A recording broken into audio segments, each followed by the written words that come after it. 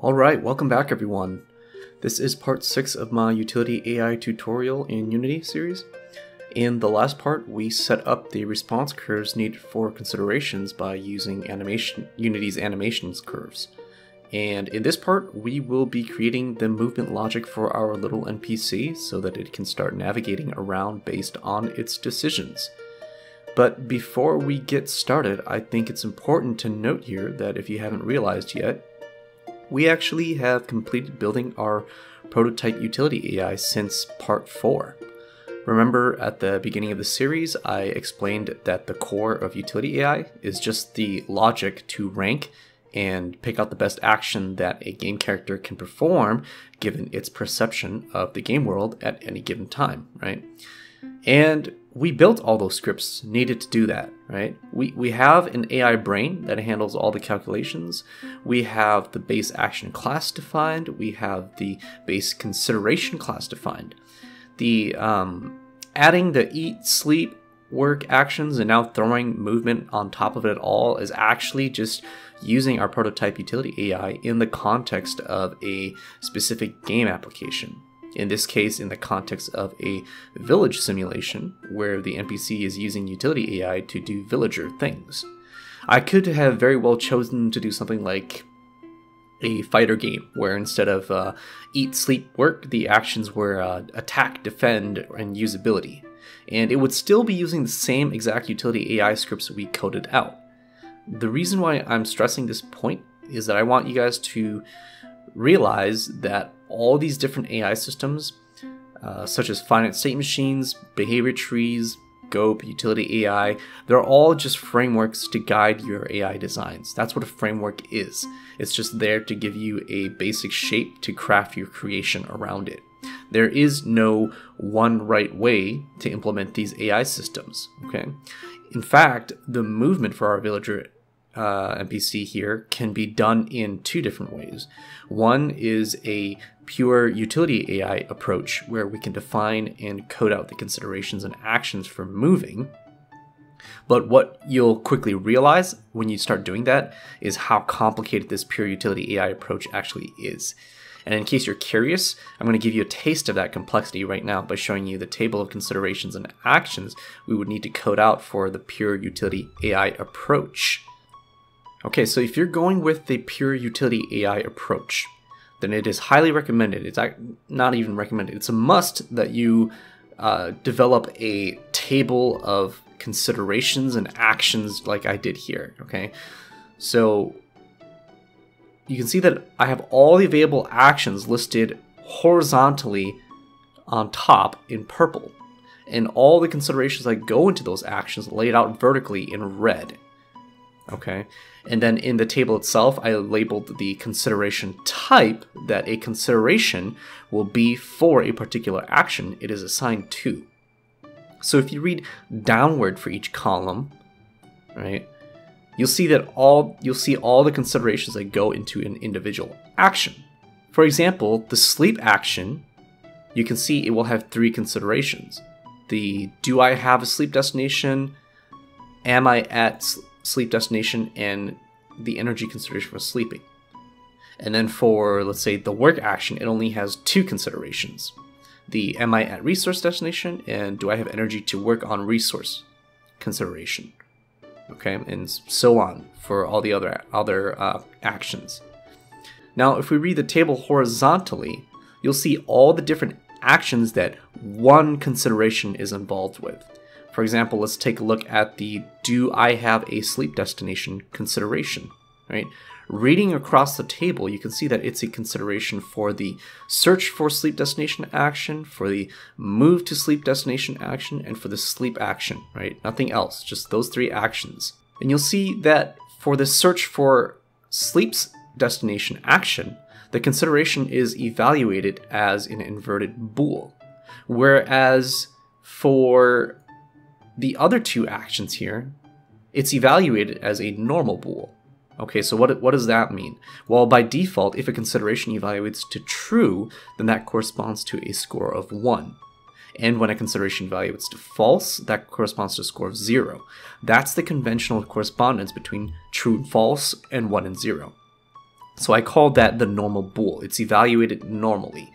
Okay, you when true means 1 and false means 0. For the inverted bool consideration type, it's the opposite case. When this consideration, do I have a sleep destination, evaluates to true, then it corresponds to a score of 0. And when it evaluates to false, that's a score of 1. And this distinction between the scoring of bool consideration is important because these different actions, the search for sleep destination, the move to sleep destination, the sleep destination, or sleep action, they interpret this single consideration differently, okay? One interprets it as an inverted bool consideration, and the other two interpret this consideration as a normal bool type of consideration. Okay? Now, I don't know about you, but having to think through just this by itself is already making movement for the NPC a huge headache for me, okay? Because you have to keep track of all the considerations and then what what actions they're paired with, and then for each of those actions they're interpreted differently. So that's a that's a really complicated way of doing movement and I highly recommend not doing it this way, even though it's possible. In fact, my first successful implementation of, pure, of utility AI for villager behaviors was going this route, and um, I still make mistakes setting up these considerations correctly to this day, even though I've been working on this stuff for like a, about a year now. So I highly, highly recommend not doing movement this way, even though it's possible. Instead, I recommend that we use the same approach that GOAP uses to control NPC movement.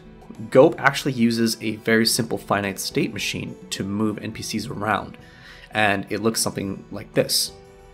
There's a decision state where the NPC does all the GOAP calculations to determine what actions it should be performing to reach a goal, and then there's a move state that the NPC enters once it has a plan. And in this move state, the NPC just moves to the destination it needs to reach in order to perform the selected actions. And then when the NPC reaches its destination, it enters the execute actions state where the NPC just starts running the actions contained in the GOAP plan. Okay, now we can set up the same finite state machine for utility AI by simply dropping in the frame our framework into that decision state where all our fancy utility AI calculations are performed to select the best action and the destination in this decision state. And then the move state will just take our NPC to the pre-selected destination, and the execute state will just run our best action when we're at the destination. So you can already see that this way is what much easier to understand conceptually compared to the pure utility AI approach, where we had to juggle all of those confusing action consideration pairs. And there's nothing wrong with doing things this way, right? As I said in the beginning of the video, these this these AI frameworks, they're just frameworks. That doesn't mean that you, it's set in stone that you have to do things in a specific way. Just because you're using GOAP or utility AI doesn't mean that you have to strictly stick to utility AI and GOAP only, and you can't use the other frameworks. Here, we're leveraging the power of the simplicity of finite state machine so that we can uh, design the movement of our villager AI very simply, uh, while still utilizing utility AI to drive the, the important decisions about what actions it should be doing at any time. Okay. Now you're about to see even more how easy it is to set this up in code, this whole finite state machine to control the movement, okay? So let's get to it. All right, so here we are in our original um, untouched villager setup here, right, with all our old code still here, okay? And this finite state machine will be running in our NPC controller class. See, it's so simple that we don't even need to create its own script for it, okay? We literally just build it into what we already have, okay? So we'll first build in the finite state machine into this NPC controller, and then we'll worry about tying everything else together, okay? Remember, just code out, code things out, and then go back and fix all the squiggly red squiggly lines that pop out, okay? So, in our NPC controller class, we are going we are no longer going to be using um, all this stuff here, right? This update and this update method. We're just I'm just going to comment these out. comment these out. Um, and we're simply going to basically have a one method, FSM tick. Boom, right there. And then we're gonna we're gonna go ahead and define what that method is. That method is our finite state machine. Okay, and note that this is um, the simplest way, simplest and fastest way to set up a finite state machine. Because we only have three three states, three very simple states, we can do it this way. Um, it's not the most efficient, of course, but you know this is a prototype, and we just want to get something up and running quickly, and then we can, and then you can go back on your own to uh, really do finite state machine the way you want to do it, because there's a couple different ways to do finite state machines, and this is just the simplest one for very simple uh, setups. Okay, so, well, first let's go ahead and define the states that are available. Um, for this FSM. They are, as we already mentioned before, the decide state, the move state, and the execute state. Okay.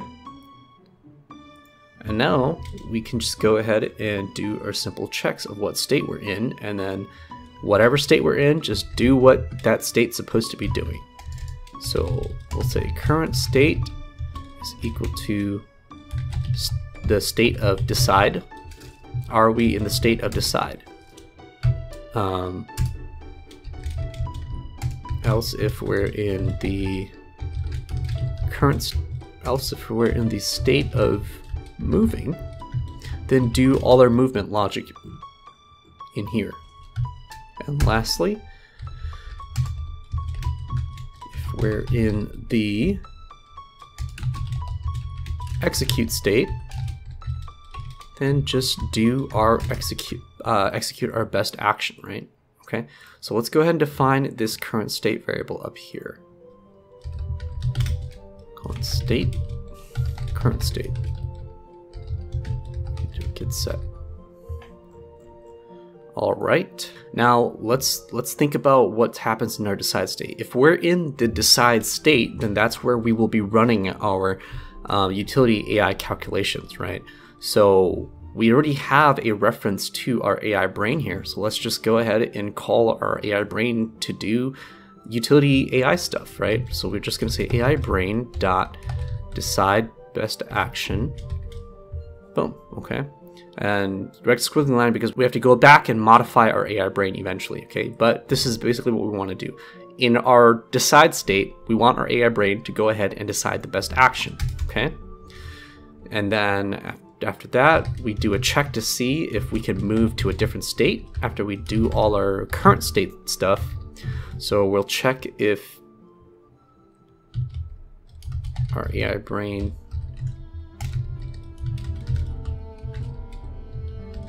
is at its required destination position. And then we'll just say uh, a distance of two, right? So if you if you're already at your required destination, then go ahead and switch the state to our state execute. Otherwise, let's go into the movement state, right? Move to the next next uh, move to the required destination. All right. Now, let's go and define the stuff that happens in the move state, right? In the move state, we basically just want to check to see if we are at our required destination. So we'll do a distance check here really quick.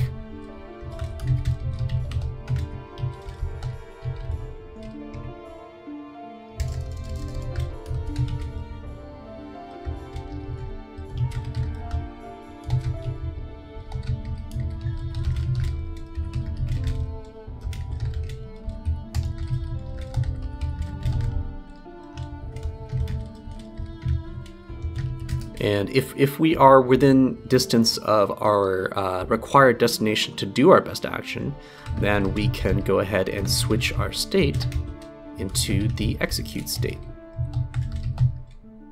Okay. Otherwise, um, tell our move controller to move our NPC to our desired location.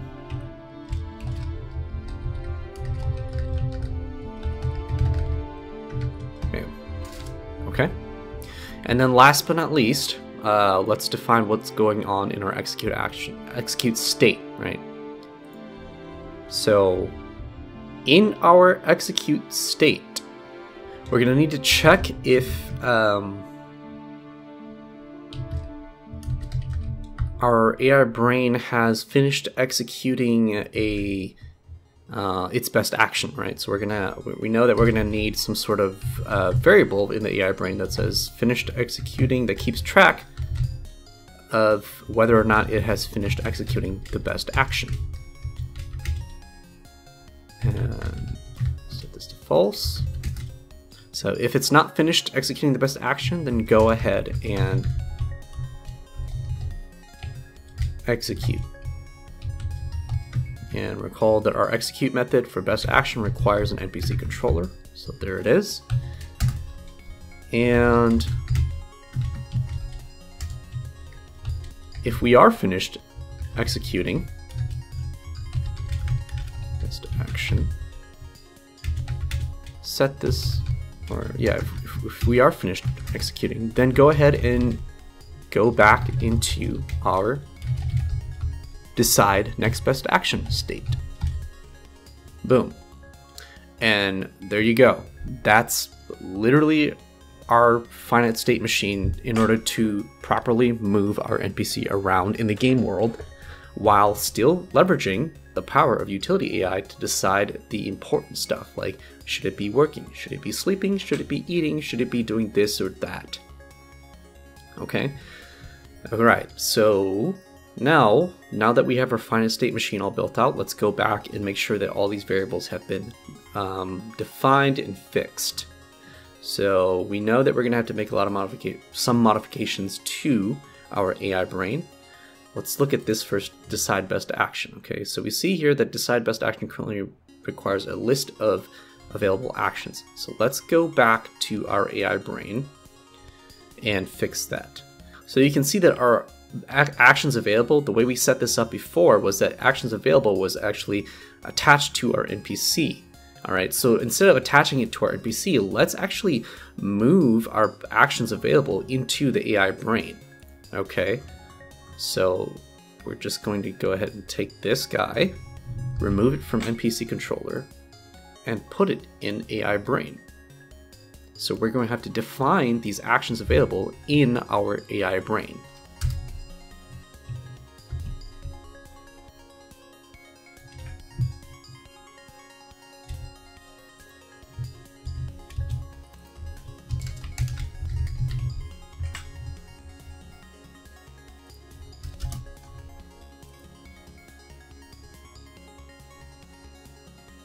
So now we can go ahead and remove this required input parameter into this method. Cool. Yep, so action available is referring now to this internal list of actions. And then since our finite state machine is now controlling uh, when to run this AI brain calculation stuff, then we no longer need this in our met update method. So I'm just going to go ahead and uh, comment this out here. Okay, and then let's see what else needs to be fixed. We need a required destination um, parameter in our best actions objects that belong to our AI brain, right? So let's go back to our best action or action class and define one. Let's see here, so we'll just define a private transform um, what did we call it? Required destination. Required destination. Like that.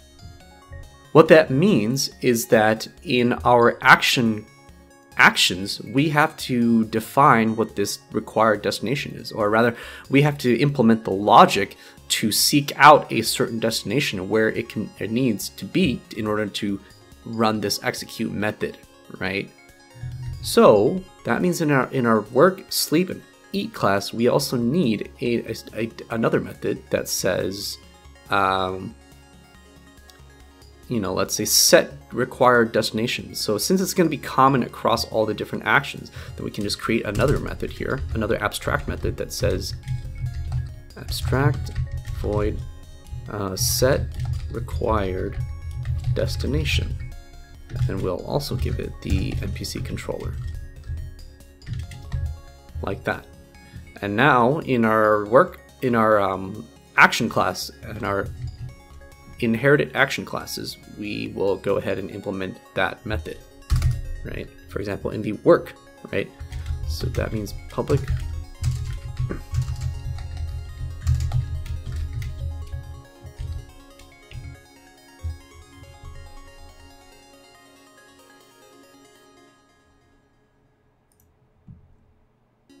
Okay, so in the work action, right, we need to we need some logic to identify what resource is this NPC going to work at to do this work action at. Okay, and the easiest way to do that is let's look at our our um, village setup here. Is that we simply just look through we, we cache this we, we cache the locations of um, resources into some sort of you know common list and then this npc can just go through and identify which resource is the, the, the nearest to to its current location and then it'll go and work on that. So let's go ahead and add a couple more trees and then just move them around in this you know place them randomly in the scene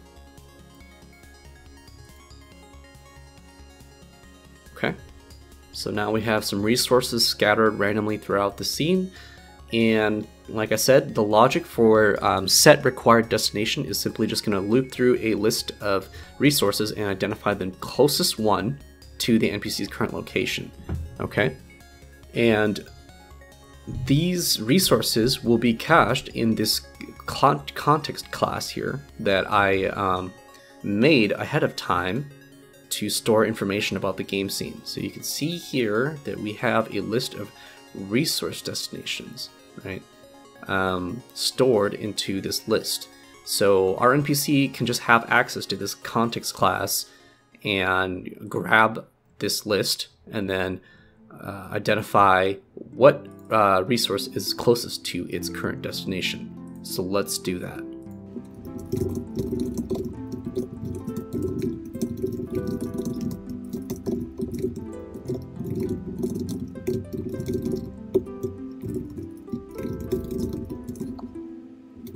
So you can see here our NPC controller has a reference to this context class, right? This context class is just uh, contained in an empty game object and it holds all the information about this uh, about the environment in its uh, class right now.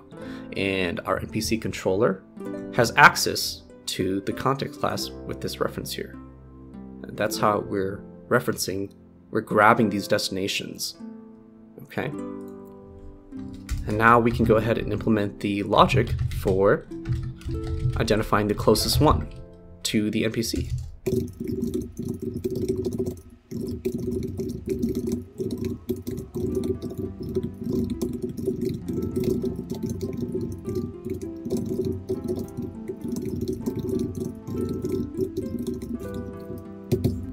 Okay, so this for loop basically identifies the closest one to the NPC, and now now that we once we have it, then we just set our required destination equal to the nearest resource that we found.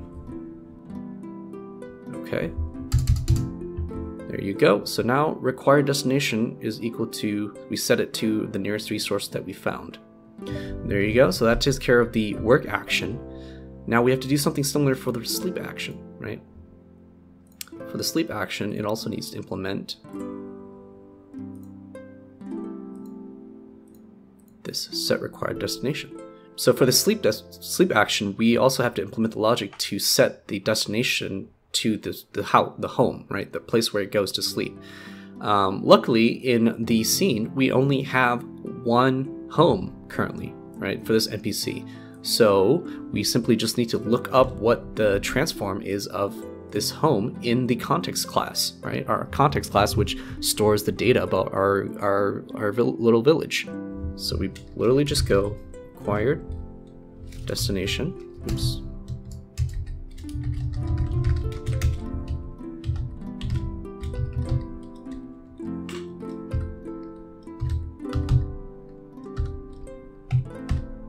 Like that.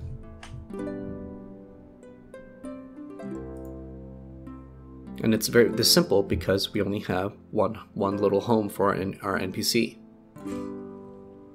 You can imagine a case where you have many NPCs and many homes in the scene, right? Then you would have to actually um, store the information about the different homes and uh, which home belongs to the NPC. But it's just uh, setting the required destination for the finite state machine is a simple uh, lookup, right? Look up what home belongs to the NPC and just set it to its required destination. And then for the eat, um, it eat actually doesn't need to right? Because eat happens instantaneously in our little village simulation here. It doesn't need to go to any place to eat currently, because this is just a prototype village simulation. So it literally just eats where it stands. Um, that means we don't need to implement this anything in this method. Okay, all right. Now, we're not quite there yet. We need to go back and fudge a little bit more with our AI brain.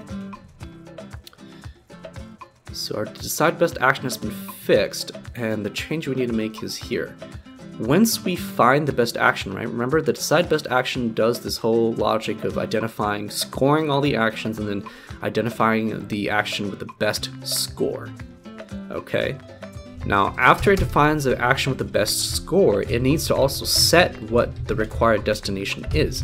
And that's where we call this set required destination method. And there you go. So if it, it, it, scores all the actions finds the best action, and then it, it identifies what is the required destination um, for this best action to happen at. And then we can finish up, uh, set, finish up deciding and printing out to our um, UI. All right.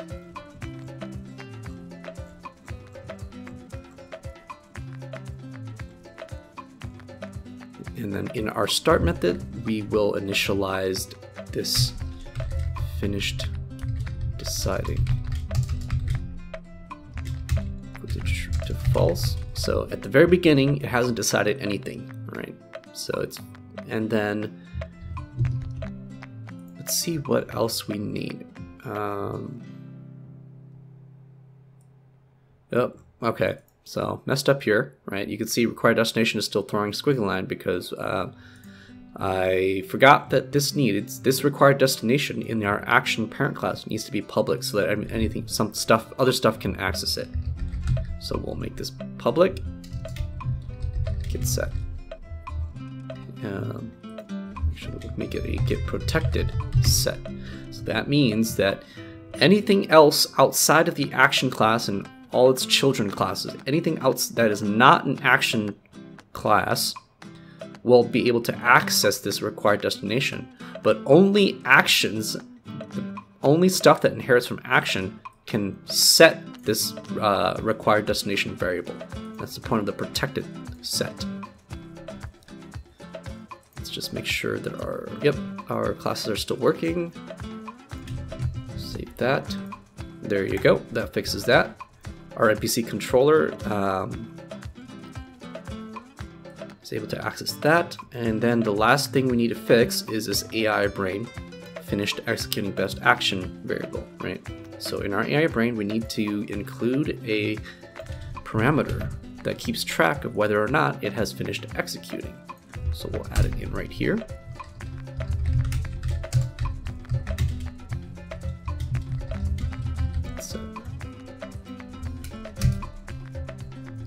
and then we will also, also initialize it as false. And I believe that should take care of our finite state machine and tying it in with our utility AI. Oh, no, still gonna need to fix this. Um, remember, we, we no longer need to provide an actions available because it is no longer um, being supplied by our NPC controller class, but rather our AI brain.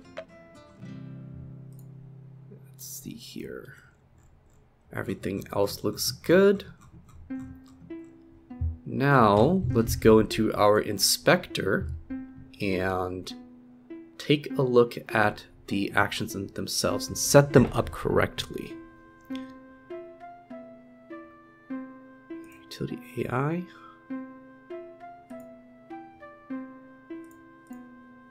Our Actions.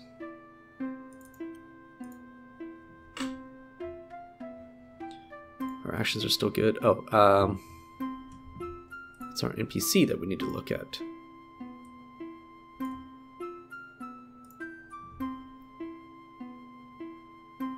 So you can see our NPC controller no longer has the list of available actions, but the AI brain has the list of available actions. Now let's go ahead and define our available actions. Eat, sleep, and work.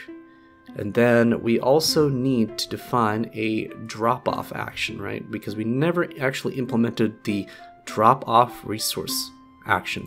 So let's go ahead and do that. Let's implement a drop off resource action.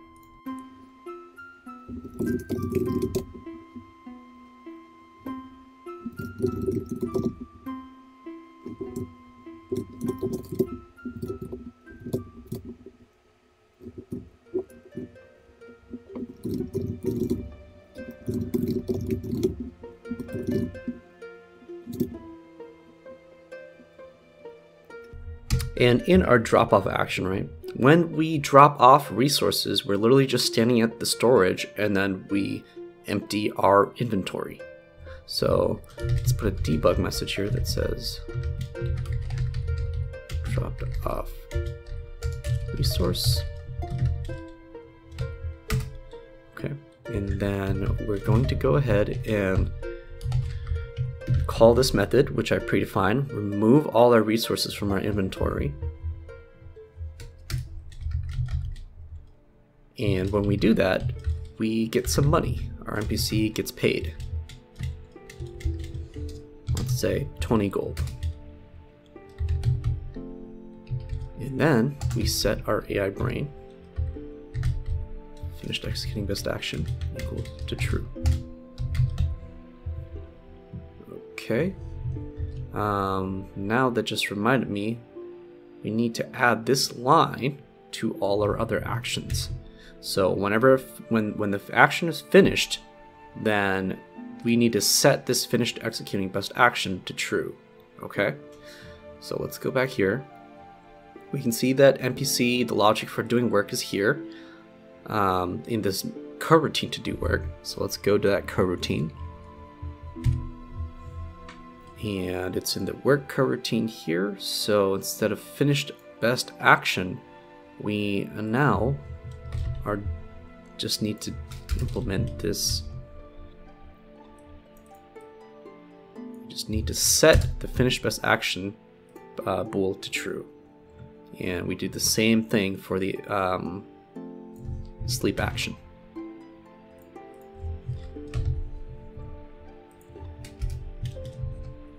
Okay, uh, so that takes care of this. And then remember, uh, th because this is a drop off resource, it has to drop it off at a storage location.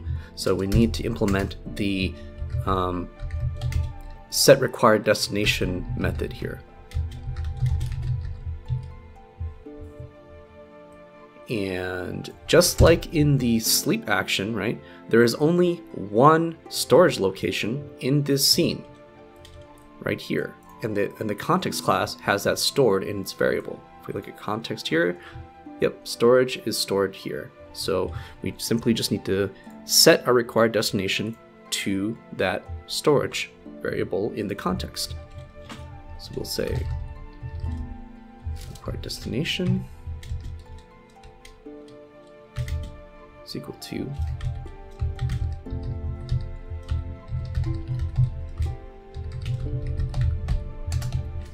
Okay.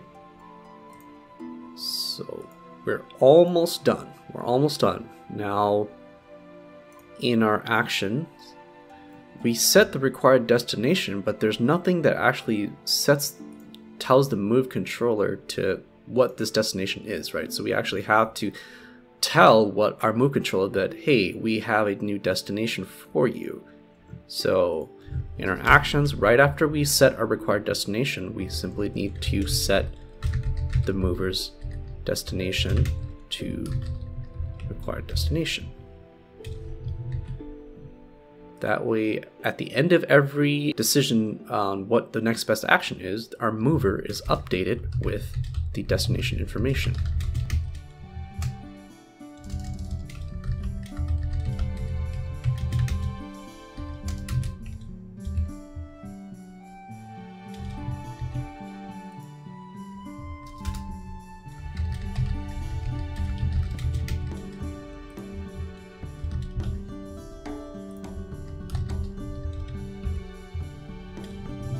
Okay, so I think that should take care of everything.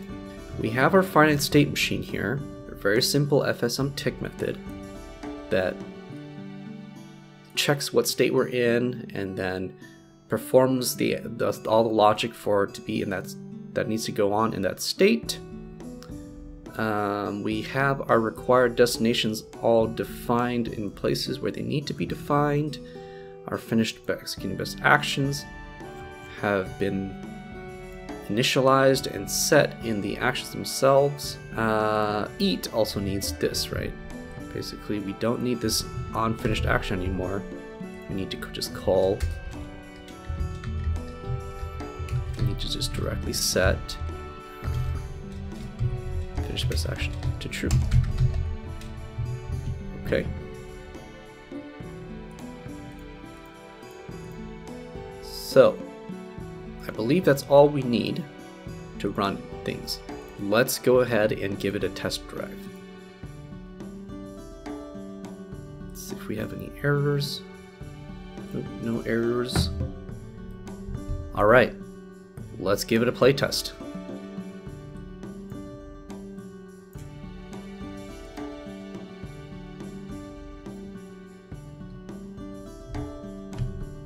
Okay, forgot that there's no navmesh agent yet. Yeah, the move controller is trying to access the navmesh agent, which we have not put onto the game object yet. We have our navmesh identified already, but we don't have a navmesh agent. But the issue is that you can see here, I have put all these scripts onto the NPC parent object here, and if I try to do this, navmesh agent, you can see that the navmesh agent is weirdly placed in a way that it's like slightly above our NPC. And the way to fix this is to basically, instead of putting all these scripts on the parent NPC uh, game object, we're going to put it on the body of the actual body of the NPC. So let's go ahead and remove all these and put everything on our NPC body. First put in our navmesh agent. There you go. And you can see now the navmesh agent is on the body of the NPC and not the parent NPC and game object. So this be 5 rotation to 200. Now let's add in our scripts to the NPC again. Controller, move controller, inventory, Stats.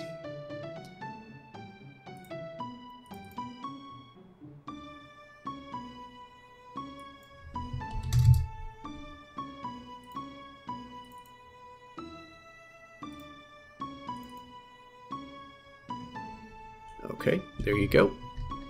And now, one cannot be a villager without a brain. That's just silly.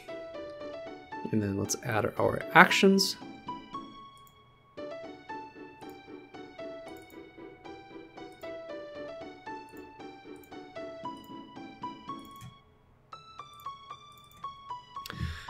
And then we also have to create a new scriptable object for our new action, right?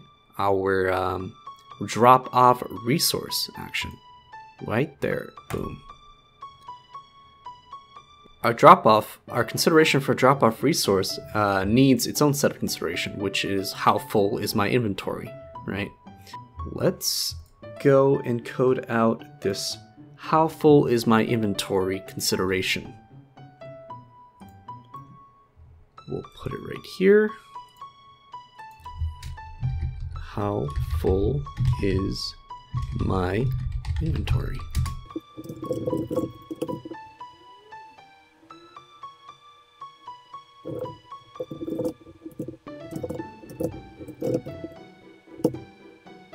Okay, so how full is my inventory? It's a curve uh, consideration, right? It, it basically, there's a spectrum. So we have to evaluate how full is the inventory. Uh, and it's not going to be you know true or false. It's actually going to look at the value, how many, how much stuff is in the NPC's current inventory. So we're going to need a animation curve.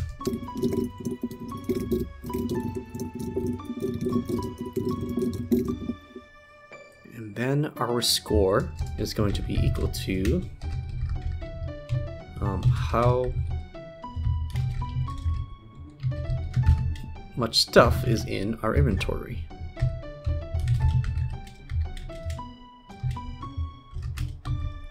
Inventory. How full is storage? So you see here, I have a method inside our inventory class defined already that does this calculation for us. Okay? And then we will return a score, our score.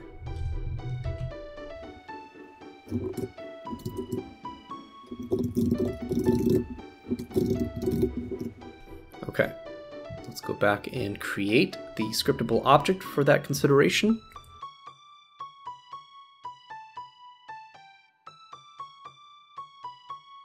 how full is my inventory, and we'll define the animation curve as we did in the previous episodes for the other uh, considerations. So we know that when the inventory is close to full, then dropping off becomes very urgent. So I'm going to go with a curve that kind of looks like this. This should be...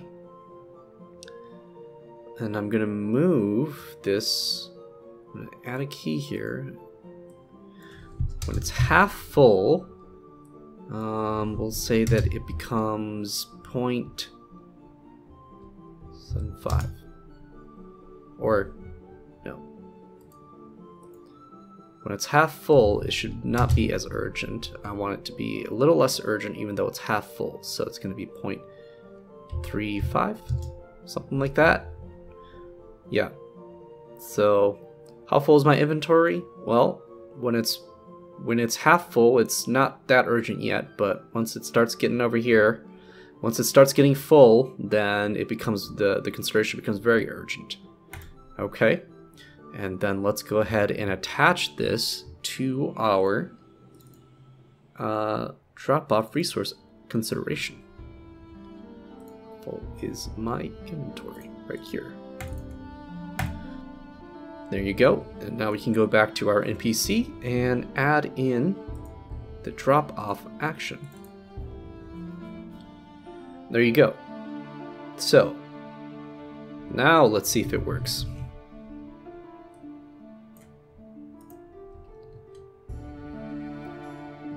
And we have a working NPC, guys. Look at that. Beautiful NPC just moving around. You can see here, I forgot to add in the uh, text update to... Uh, nope. So it's getting stuck here because we... Why is it getting stuck here? Well, because we probably didn't set reset one of its uh, variables, right? One of its finite state machine variables. Eight hours later. Okay, so after some debugging, uh, finally found where the mistake is. It was just uh, literally one liner that we forgot in the AI brain code, okay?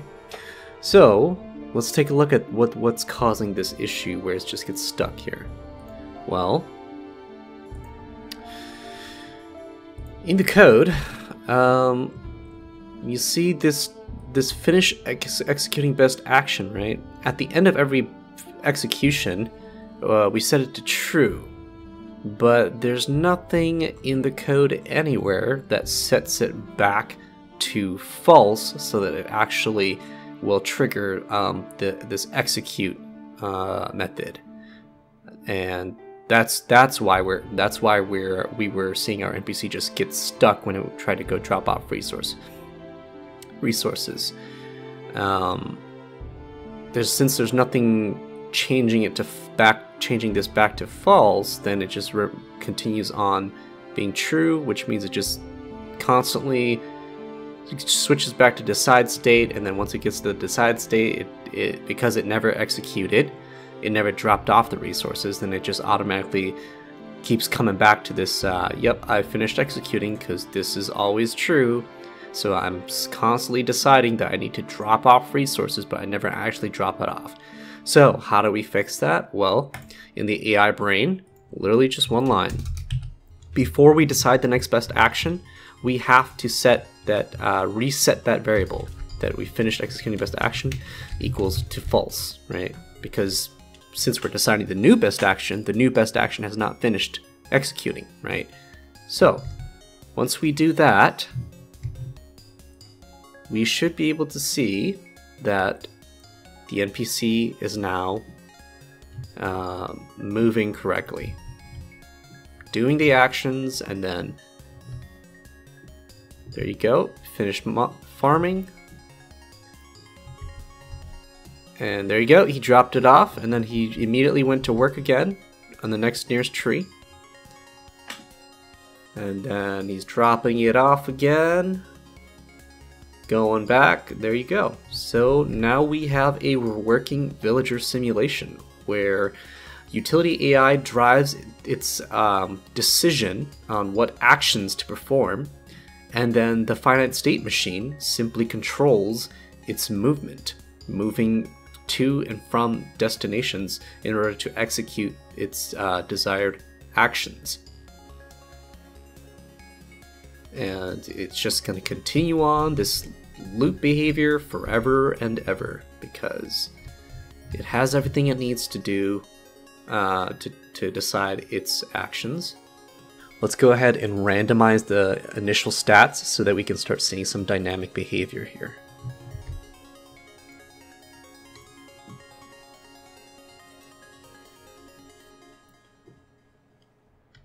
All right. So he starts out with pretty high energy, so it's going to be a little bit before it goes down to the point where he needs to rest. We can even move these resources around, right? Like, let's say, let's, let's move this guy here. To be here, so that it is the new nearest resource.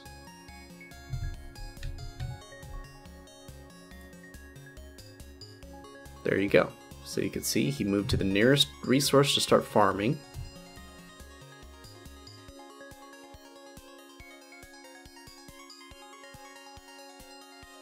He should be getting tired about now. Close to getting tired.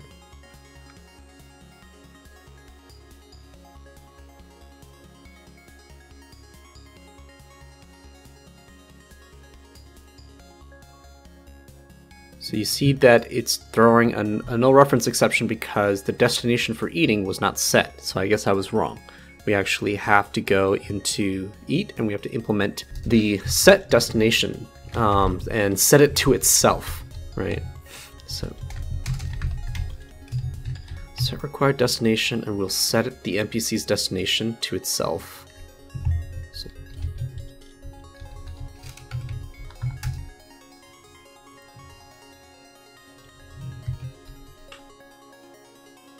So there you go. His first action was to eat, and when he's done eating, dropping off resources. Okay, and you can see there, because he's loaded with gold, he doesn't need to work, so he can afford to go sleep right now. to replenish the energy. There you go. And once he replenishes his energy, he's back to just farming because money, he loves money. And this is just going to continue on and on and on because and it's constantly just evaluating, using utility AI to evaluate its needs and um, what actions it needs to perform. And that just drives its villager behavior. Finite state machine to control movement, utility AI to control to decide what actions it will be performing at any moment. Okay, so that was painful to edit. Uh, I felt that the presentation was a bit sloppy, but I think it's still good to see how people debug issues. So I hope it wasn't a total waste of your time watching me get, getting this up and running. The video is already way too long, so I will save the conclusion remarks for the next and last video of this series, where I will talk about the pros and cons um, of this prototype AI and give suggestions on how you can expand on it for your own projects. I'll show you guys how um, I branched off of this prototype AI to also uh, to start building uh, a more complex village and what my vision is for such a simulation. Thank you so much for your time, and I hope to see you in the last video. Have a great rest of your day, game devers.